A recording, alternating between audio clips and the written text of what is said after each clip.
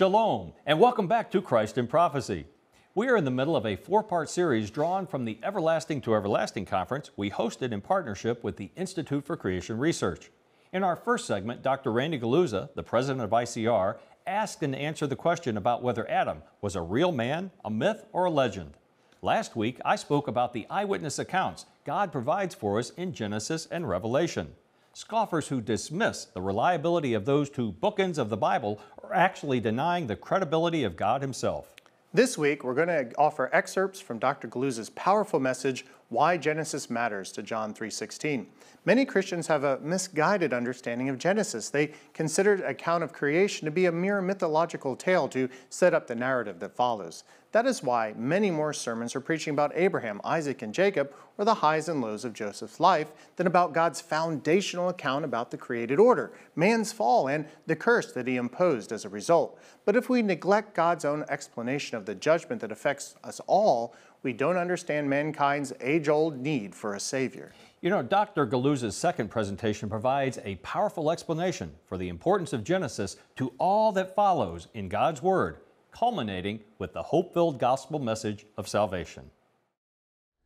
What does Genesis have to do with John 3:16? And it's that's really about witnessing. And the very first time I saw anybody witness to any group of people was about 2 months, 3 months after I became a Christian. I became a Christian right after high school. My girlfriend, who is my wife now, was a believer, and she'd been a believer for quite some time, but I had not been. And we had a freshman orientation, and all of they had all the freshmen. There was like 700 freshmen plus all the other people that came in, and then groups from different organizations at would come on and they gave presentations. And I was sitting about two rows back in the middle of the group, and a guy came up from a Christian organization, and to my shock as a new believer, he stood in front of all of these people and he gave a gospel testimony. And I, you know, you're just thinking, wow, why are you shocked? Why are you shocked? Because I'm a new believer. And, and I thought that was something that was really personal and that you kept to yourself and things like this. But not only was it not personal, but this man did it so boldly, so confidently, uh, that I just was standing there in, in, in like awe that he's in front of all these people and he is literally sharing his face. And uh, the, the gist of it is this What does Genesis have to do with evangelism? What does it have to do with evangelism? Now, this is how it goes. Someone will be, be witnessing to them and they'll say, I can't believe the claims of Jesus Christ. Well, why can't you? Because I can't believe the Bible. Well, why can't you believe the Bible? Because science has shown that the Bible is full of errors. And we show you're wrong on that point. Science has not shown that the Bible is full of errors. We show that your science, as you hold it, is full of errors. What in the world are we even talking about when we talk about evangelism? Everybody says it, but here is a Bible based definition of evangelism. First, it's the duty of Christians, and I'll read to you those verses in just a second. It's the duty of all of us Christians to do what? To preach the good news. Now, I, I put the word preach in yellow because the, Paul says it was by the foolishness of what? Preaching. And unfortunately, today there's, there's this pushback against preaching where everybody wants to have a dialogue or everybody wants to have a conversation. But the Bible says that you preach the gospel, you tell them this. And it is gospel, it is good news. It's good news because it's salvation from sin salvation from sin. Now, why should I have to emphasize that? Because, well, Paul says this is a faithful saying that Jesus Christ came into the world to save what? Sinners. Sinners. But unfortunately, we're drifting away from that idea and we're, we're here to say, well, I, I hear this all the time. People will have this appeal Are you lonely? Come to Christ. Are you, are you broken? Come to Christ. Are you low in self esteem? Come to Christ. Do you have a broken heart? Come to Christ. Well, Christ can help you with your low self esteem. He can help you with your loneliness, but He really isn't here to save you from your achy, breaky heart. He's here to save you from your what? Your sin. Your sin. And I know that's a tough word to get out, but, but this is good news that you can be saved from sin. And that's what it's all about. How do we do it? By the Word of God. Faith comes by hearing, and hearing by what? By the Word of God. So if you are sharing your testimony and you do not have Bible verses in your testimony, you are not preaching the gospel.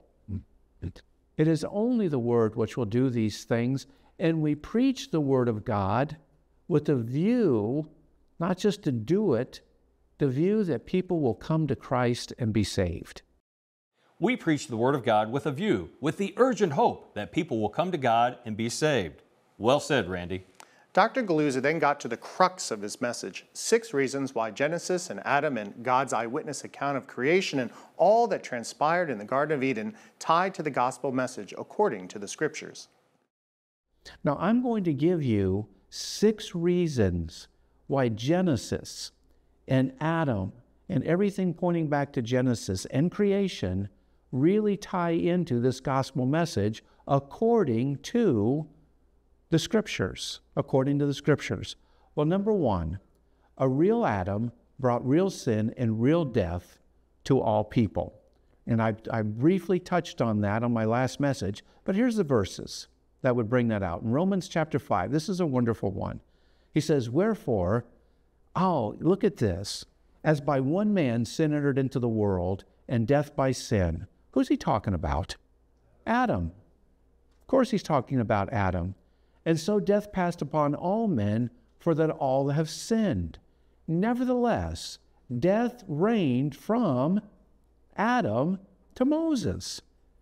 That means before there ever was any law, death was reigning from that period of time, even over them which had not sinned after the similitude of Adam's transgressions. In other words, you didn't have to do exactly what Adam did to die, you just had to do your own crummy sins.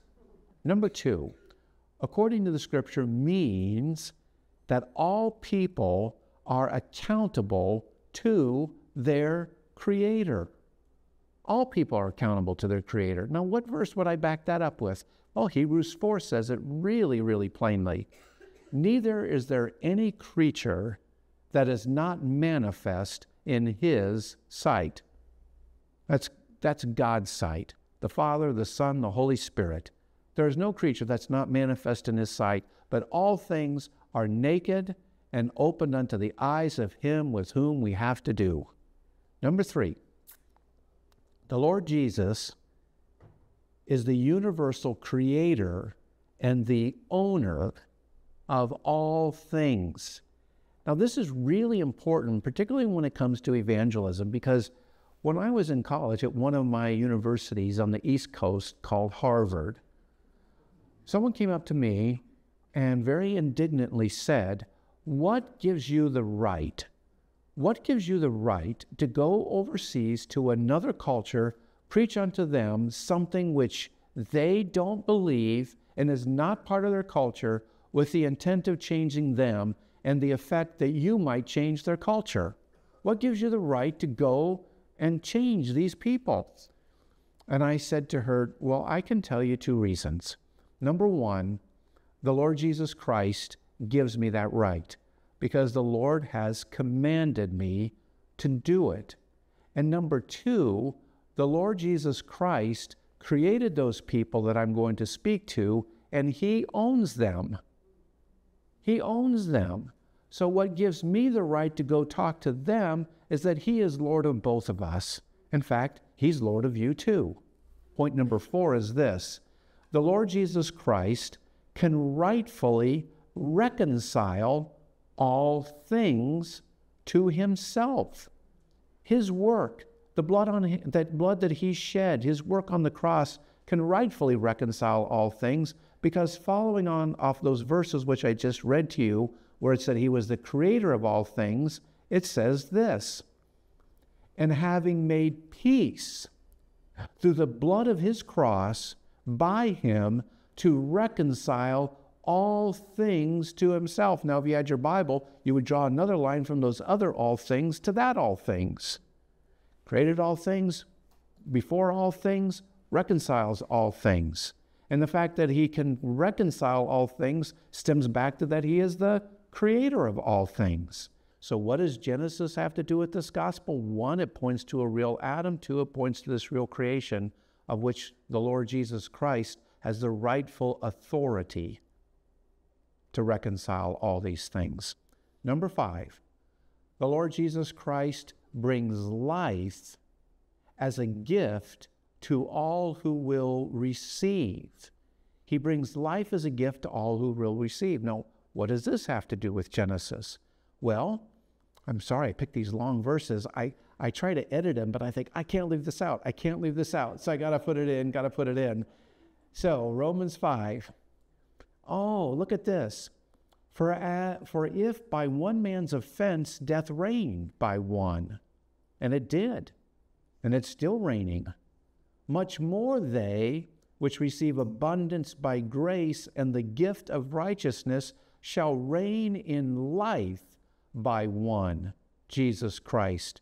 Therefore, as by the offense of one judgment came upon all men to condemnation, even so by the righteousness of one the free gift came upon all men unto justification of life.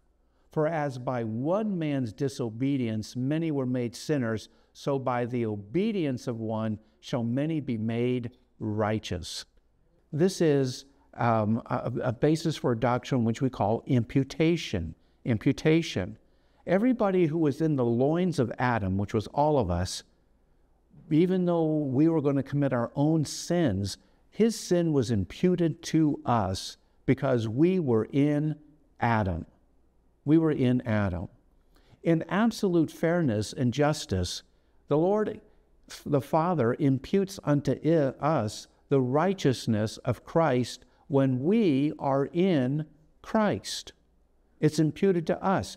Adam's sin was reckoned to our account, and in absolute fairness, when we're in Christ, his righteousness is reckoned to our account.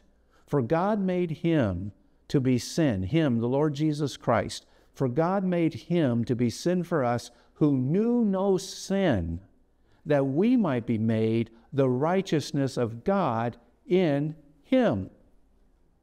Do you see how imputation fits? It, it goes both ways.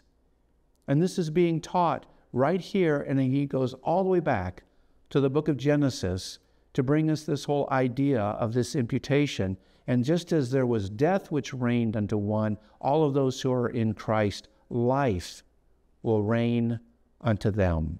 Number six, all people who are in Christ, in Christ, will be raised from the dead. Will be raised from the dead. Now, where do I find that? 1 Corinthians 15. But now, Paul says, for people who were denying that Christ had really risen from the dead, he says, But now is Christ risen from the dead and become the first fruits of them that slept. Oh, the first fruits first fruits of them that slept. What does he mean by that? For since by man came death, oh, here he goes again, all the way back to Adam, by man came also the resurrection of the dead. For as in Adam all die, even so in Christ shall all be made alive. And he's talking about resurrection from the dead. But every man in his own order, Christ the first fruits, the one who conquered death through his resurrection, afterward, they that are Christ's. At his what? At his coming. So many promises will be fulfilled at his second coming. We can live victoriously now, but it's as if God has said, but wait, there's more. And yet, those who promote evolution deny that there is more. or even that life has a purpose here and now. Dr. Guliuzza cites prominent evolutionists who realize the inevitable atheism and nihilism of their own worldview. We I can't get away without pointing out how natural evolution directly attacks these things. And I could go on with like quote after quote after quote. So, what I thought I would do for this is I would go back and just look what historians were saying what evolutionary teaching did to the church. So, number one, the doctrine of natural evolution challenges God's existence and the reality of man's accountability and future judgment. Now, how does it how does it challenge God's existence? It does this. I'll, I'll have to back up. People can know there is a God because of what they see in nature, and specifically what they see in nature that tells them there's a God is what they see in biology. It's what they see in biology. Now, you can see tremendous things out in heaven, and, and it is a great witness to the infinity of God. But if you want to know that there really is a creator God, you look at creatures who have all of the characteristics of having been created for a purpose and have parts and systems on them which function for a purpose. And now that we begin to study them, we realize that they function and they operate according to engineering principles. And anybody who has ever lived on this planet and any culture knows that things don't create themselves. And everybody who has ever seen multiple parts working together for a purpose, they know from human experience that that had to have a creator. And so when they see creatures with multiple parts working together for a purpose on those creatures in abundance, it is a natural, very clear, undeniable revelation that these creatures had a creator. Next, it challenges, natural evolution challenges the gospel by equating man with animals, and we know that we don't hold animals morally accountable for what they do. There may be a dog that attacks children, and you euthanize the dog, for the sake of the children, but you don't say, oh, you sinful dog. Next, the doctrine of natural evolution challenges the reality of sin on this. And we see this everywhere, where sin, sinful behaviors, are being redefined as non sinful behaviors. And in other words, humans put themselves in the position of God, deciding what is right and what is wrong. And in fact, sometimes we put our position, ourselves in the position of God and deciding who should live and who should die. And therefore, the doctrine of evolution removes the necessity for the person and work of Christ. And therefore, evolutionary conclusions are that Adam was a myth or a mythical creature. And this, um, when I say evolutionary conclusions, I'm not just talking about atheistic evolution. I'm talking, as we saw earlier today, theistic evolution. The fall of man was a myth, which is also denied by theistic evolutionists and thus the redeeming work of Christ was also a myth. Nathan and I have not put our trust in a myth. We have believed upon the Lord Jesus Christ, the Anointed One, the Son of Man and of God, who gave Himself for all who would believe in Him.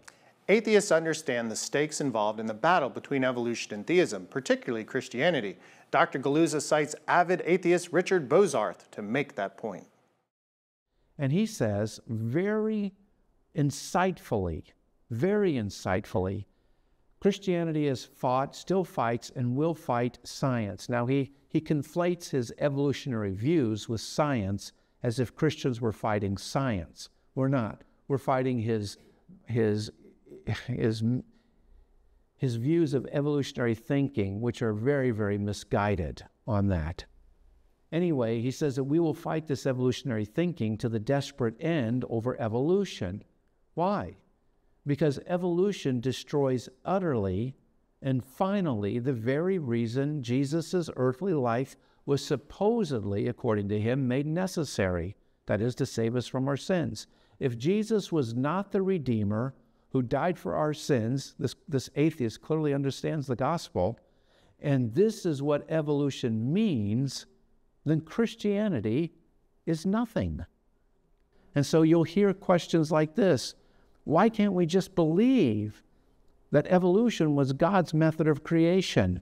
Or maybe someone will say this Why does it have, why does it have to be? Almost like a teenager. Does that, do we have to do it that way? You know, why does it have to be either or? Or can't we find some common ground?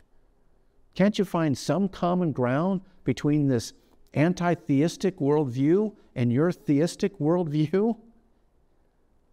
The answer is no. You can't find common ground between those two. And you want to know who recognizes it?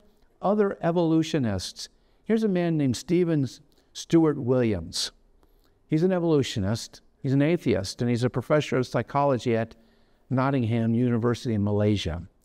He, he, he says something which is mocking the theistic evolutionists. The whole notion, he goes on to say, that Genesis is metaphorical and that evolution is a testament to the glory of God smacks of the kind of spin doctoring that gives politicians a bad name. Wow. You know what's interesting is these, these, these atheists, these evolutionists, these unbelievers, they recognize better than many believers what the implications of their own teaching is. Liberal Christians alter their original religious beliefs to make them compatible with evolutionary theory and then scoff at the idea that there was ever any threat. In doing so, they casually downplay just how radically they've rewritten their religion. Arguably, it is not the same religion as the one it evolved from. It merely shares the same name. He's, a, he's absolutely and totally right. The only people who get caught in the middle are the ones who are trying to compromise. This man who is an atheist, he likes to take his atheism straight on that. You know what? In some ways, the Bible says he's hot or he's cold. And here we are, we're either hot or cold. We say, no, you cannot meld the two. These people are in the middle, and they are what? Lukewarm. Lukewarm, and they will be spewed out of the Lord's mouth. They're even spewed out of the evolutionist's mouth. Nobody wants it. Nobody wants it. So the answer is no. There is no middle ground. There is no way that we can all get along. And conclusions from natural evolution challenge the credibility of the scripture. Not only that, they make Christians look as if we are anti scientific and superstitious clods, not worthy to be listened to. And when they do this and we allow it to happen, it, it limits the seriousness with which people take our message and how it's received on those ends. You know what? This has been going on all the time because people have laughed at us all along. When Paul went and spoke to the Epicureans and the Stoics up on Mars Hill, it says this He was listening and they, he was preaching and they were listening intently until they heard of the resurrection. And then in verse 32, and when they, that is those Athenians, heard of the resurrection of the dead, some of them mocked. Some of them mocked.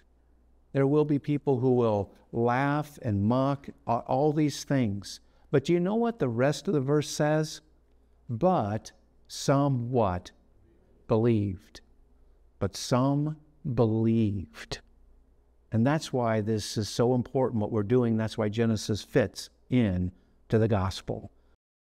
Militant atheism is the least intellectual of any religious position.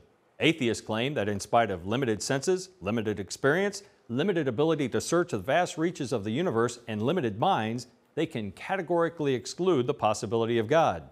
Agnostics at least acknowledge the limitations of their knowledge and simply confess, I don't know. But recently, one famous atheist made a statement that belied his own claim to reject God. Richard Dawkins is one of the so called four horsemen of New Atheism and author of The God Delusion.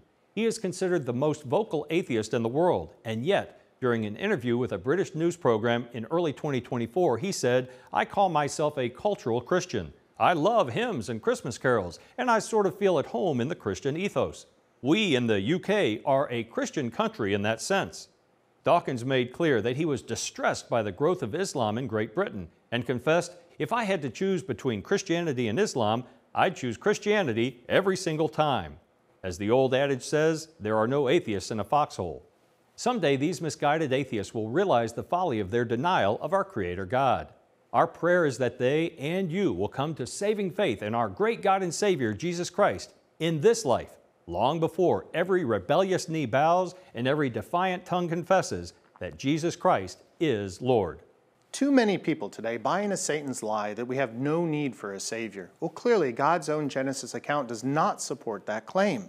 Genesis 3.15 foreshadowed the Messiah who would defeat Satan once and for all. And yet, Satan continues to deceive many into thinking they're good enough and do not need to be saved from their sin. Well, Tim, you recently observed that even Pope Francis has been spouting all this unbiblical ideology. That's right. When he was on 60 Minutes, Pope Francis was asked what gives him hope. Instead of pointing to our blessed hope, Jesus Christ, as the one who saves us from our sin and offers us eternal life, the Pope said that he considers all people good. That kind of universalism denies our desperate need for a Savior and is in direct contradiction to what is taught throughout the Word of God, beginning in Genesis. The curse God placed upon mankind was so that we would toil in vain and eventually die. The earth, meaning the entire natural order, was also cursed. Paul reminds us that the creation itself groans and suffers, longing to be freed from its slavery to corruption. That will happen when Jesus returns to reign upon the earth. Not only that, we who have put our trust in him will receive our own glorified bodies, whether we are raised up from the dead or caught up to meet him in the air at the rapture. The glories that await us are beyond description. Paul says that eye has not seen and ear has not heard all that God has prepared for those who love him. Likewise, folks, it's impossible for us to capture in a single TV episode all that we'd like to convey to you about God's prophetic word and the eternal truth of the gospel of Jesus Christ. It's also the challenge we face in boiling down these hour long presentations to fit in the time slot that our television program allows. That is why you can watch the entire conference on our YouTube channel or order the two DVD set for only $15. Just visit our website or call the number on the screen and tell our staff that you want to order the Everlasting to Everlasting Conference DVD. Or for only $40, we will send you Bundle 1002, including the conference DVDs along with a copy of our new Revelation Study Guide and Jobe Martin's book, Evolution of a Creationist. All three items will help you dive deep into the bookends of the Bible to discover God's perspective on the beginning and the end. And next week, we're going to wrap up this series on Everlasting to Everlasting. Tim's message on what we have to look forward to will encourage you with our blessed hope. We hope this series has deepened your appreciation for Genesis and Revelation. Even more important, we pray that you have embraced the gospel of Jesus Christ, confessing Him as your Savior and Lord. Soon and very soon, our Creator God will return to make all things new. The one who said, Let there be light, will illuminate the world with the radiance of His glory. We can hardly wait. If He tarries, we'll see you again next week for another episode of Christ in Prophecy. Godspeed.